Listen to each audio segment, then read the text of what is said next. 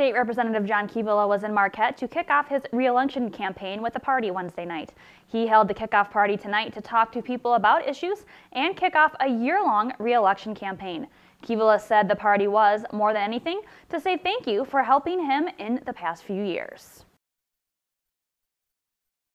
So many of the people in this room are responsible for me being in the position I am right now. Their tireless work and support, both financial, knocking doors, making phone calls, made it possible possible for me to represent them. So very humbled that uh, they took the time to stop by in their busy holiday season.